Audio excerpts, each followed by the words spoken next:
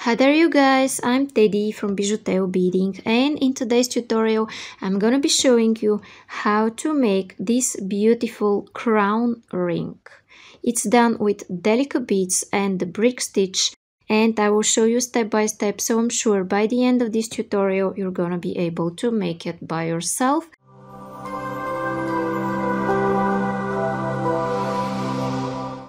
If you have any questions, you could always ask me anything in the comments. I'll try to answer to all of you. Down there in description, you will find the full list of materials, link to my store, link for PayPal donations to develop this channel, and link to all my social networks where you could share your beautiful work that you did following my tutorials, mainly on Facebook and Instagram. And you could also check my second channel with the fast clips and other brick stitch tutorial down there in description and at the eye icon. Thank you so much for watching. Now I will start with the list of the materials.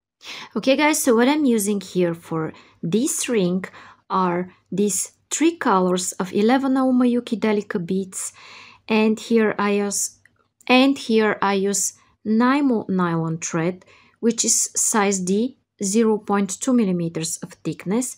This is size 10 beading needle. You could use size 11 or 12. And uh, these are scissors. And now I'm going to take about an arm span of thread on my needle and I'll be back. Okay guys, and I'm going to show you this ring using the familiar brick stitch. Okay, and now in order to start my element, I'm going to take two black beads. Okay I have my two here. Go, I'm going to slide those down stick my needle in my mat and here what I want to do is make a knot. And how I'm making my knot I'm making here a loop. And I'm going twice through the loop I've made and I pull okay just like this. Now I go here through the next seed bead okay? And now you see how my beads are arranged next to each other. You see like this and the holes are from this side. This is what you want to have. Now in my next step I'm going to take one more seed bead and I'm going back just like this. Okay. Then you see I have three in a row and I'm going through this one. You see what I have here? And the holes are from here. Now I'm going to take one more seed bead and I'm going back just like this. Okay I have four in a row and go like this. Then I take a fifth one and I go back just like this. And like this. Then I get again I take one and I go here. Okay. Now this is uh, the first basic row that I will start my first triangular element from. But in order to make it stronger I will go one more time around those beads in this direction.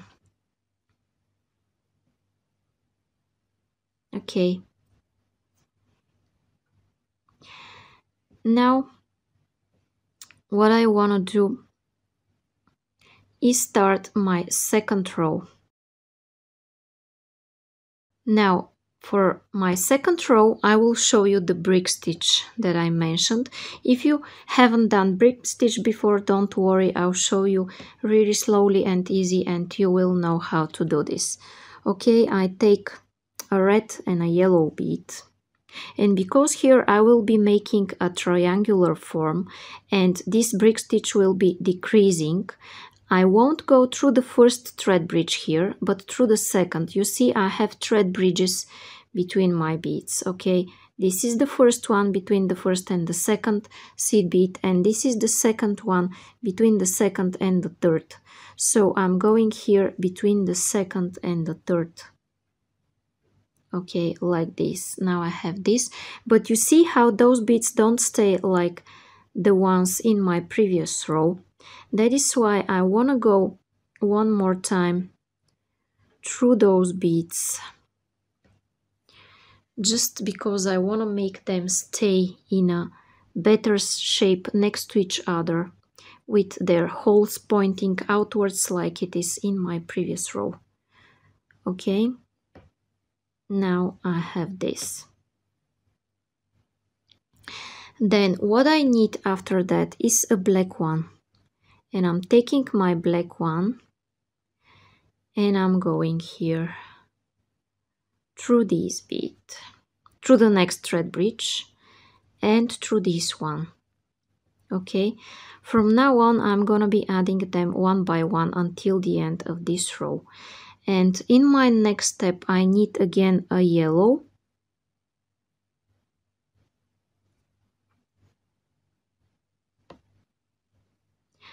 I'm adding it under this thread bridge and then going through it. And then what I need is a red one. And I go here through this next thread bridge. Okay and I go back okay? Now I prefer to flip because it's easier for me to go in this direction. And I will do my next row. And my next row will start with a red and a yellow. And again because I'm decreasing I'm going under the second thread bridge not between the red and the yellow but between the yellow and the black. Okay? I go like this then I go, I go again through the yellow. Okay. But those uh, those two beads don't stay well. So again I'm going to do an additional step of reinforcing them and making a new thread bed to make them stay in a nice shape. Okay. Then in my next step I need again a yellow and a red, but this time I'm adding them one by one.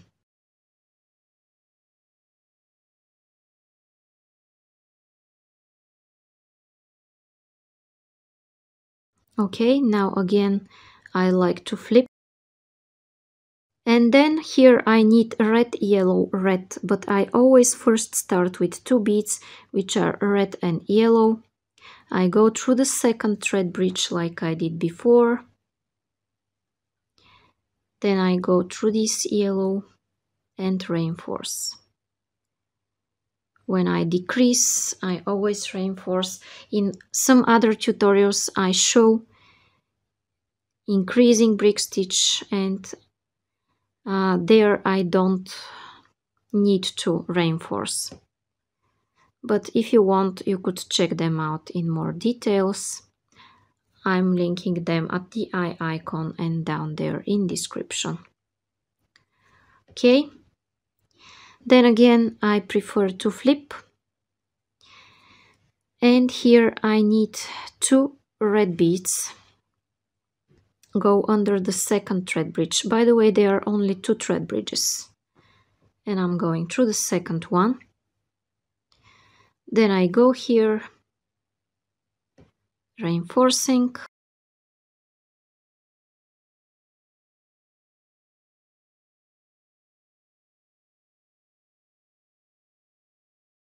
And I take one red bead. Okay and I go like this and with this step I attach this red bead here at the top. Now at my next step I want to continue this pattern more and more. Okay, so in order to do this I'm going to need more of this basic black row Okay, I'm adding them the same way as I did before. I will add four beads.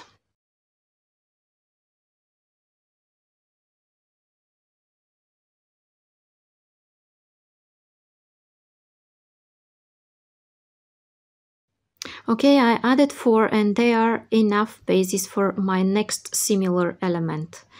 Okay, and in order to start it, I first wanna reinforce this row.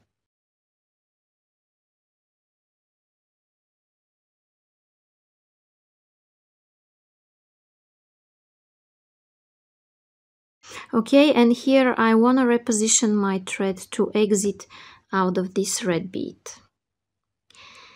And you know how I usually added two beads in the beginning of my element, but now uh, the first red bead is already there. So I won't add uh, another red or a red and a yellow like I did here, but I will start directly with a yellow, okay?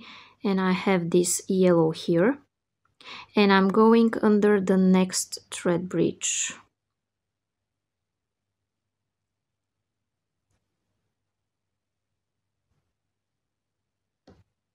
like this. And I go back through this yellow. Okay so these are these two I'm repeating my work. So these are these two beads then I need a black one and I go here next to the yellow and I go back here. And then I will add a yellow and a red.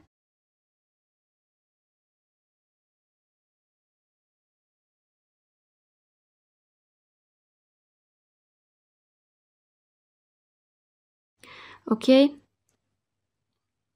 now I have this and I prefer to flip my work to go in this direction. And now I could follow this pattern that I already did. And I will have a red, two yellows and a red. So I'm taking a red and a yellow because this time I'm starting with two beads. And I'm going in the second thread bridge like I did before. Okay then I do the familiar step. I go through this yellow back through the red and one more time through the yellow. Okay. Then what I need next is a yellow and a red. And I take a yellow go under the thread bridge pull, go back.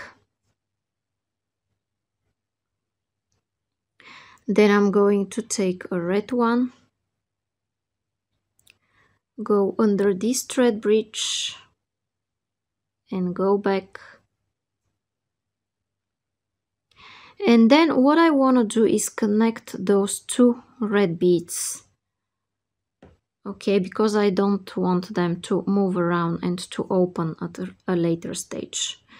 Okay now I will start my next row but I prefer to flip like this. It's not obligatory but I just prefer to do this. And in my next step I need red yellow red and I'm taking a red and a yellow. And I'm going under the second thread bridge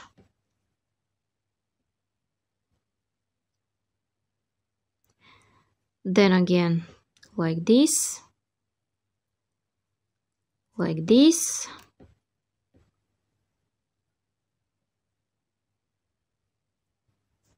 Like this. And I need a red one.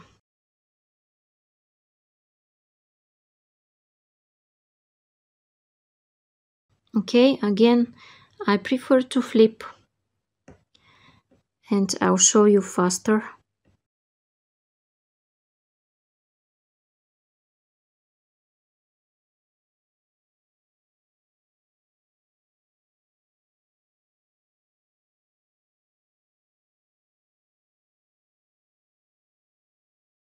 Okay, now I have my first two elements ready. And from here on, I want to make three more elements, so I will have five elements in total. And how I do this, just uh, if you forgot how I'm making them, rewind the video from here. Uh, so what I did is that I added four uh, black beads and then I reinforced them and from here on I continued making uh, the triangle. So forward the video up to here and repeat it three more times and then I'll be back to tell you what's coming up next. Okay guys and now I did five more elements and here what I want to do is to start adding black beads. Why? Because this is the front part of my ring and here at the back I will make my ring band only with black beads and I want to make enough black beads so I could connect this one and this one and it will fit my finger perfectly. Okay how I do this? I add just like I did before beads here. And I can't tell you how much because you should do it for your finger or for the finger of the person that you're doing it for. So basically I will continue this and when I feel I have enough of those black beads I will be back and show you what's coming up next. Okay, and when I feel I have enough black beads here, I will connect this part to the other part of my work, okay? How I do this, I come here, you see where I am, and I go through this last bit and I want to connect it to this bead here.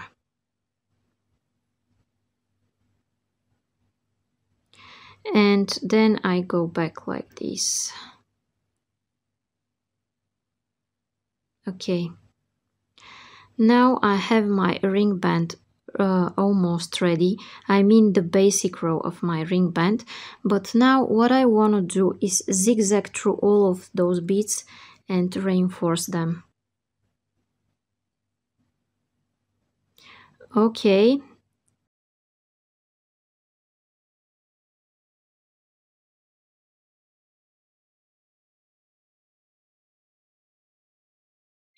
and I will continue this until the end. Okay, and when I continue this, guys, you see I'm here at the edge of my work.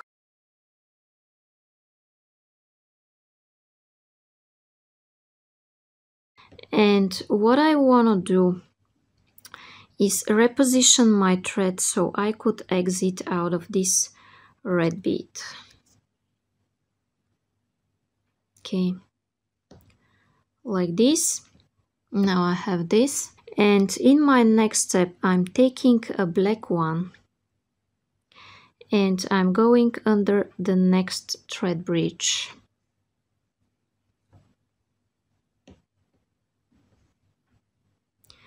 Because as I said my ring band will consist of only of black beads. Okay now I have this. Then I'm going to take another one.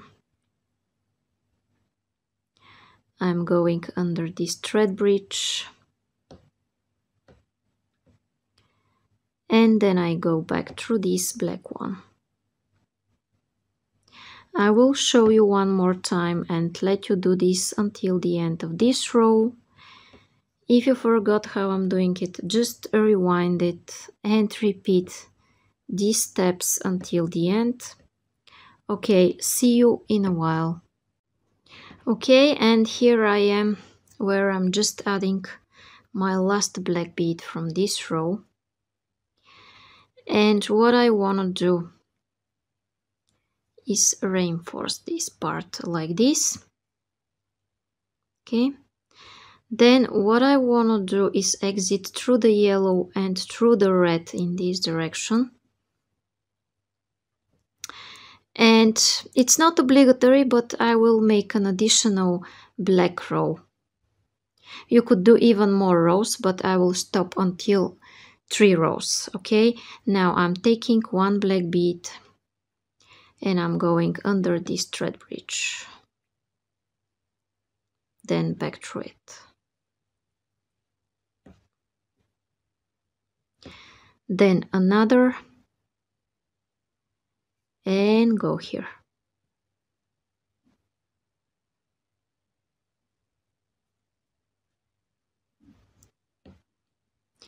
and I'm showing you one more time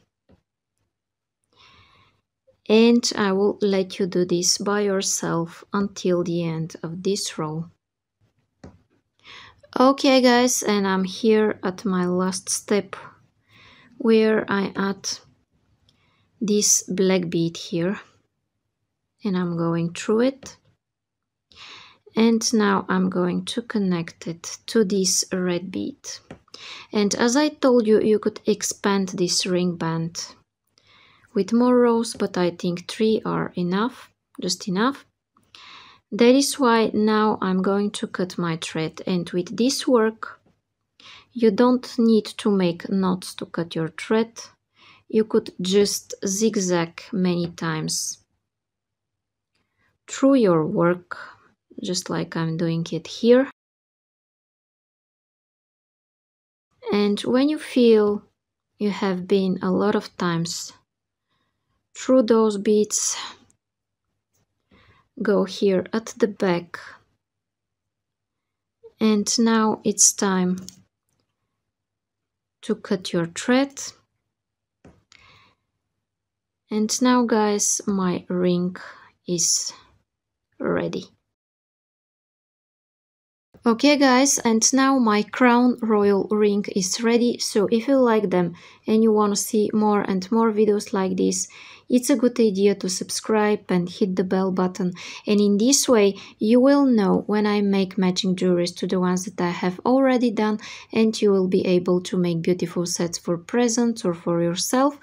Down there in description you will find the full list of materials, link to my store, link for PayPal donations to develop this channel and link to all my social networks where you could share your beautiful work that you did following my tutorials mainly on Facebook or Instagram. You could also like, share and comment and you don't know how much of a support this is and you could check my second channel with the fast clips. Thank you so much for watching. Bye bye from me.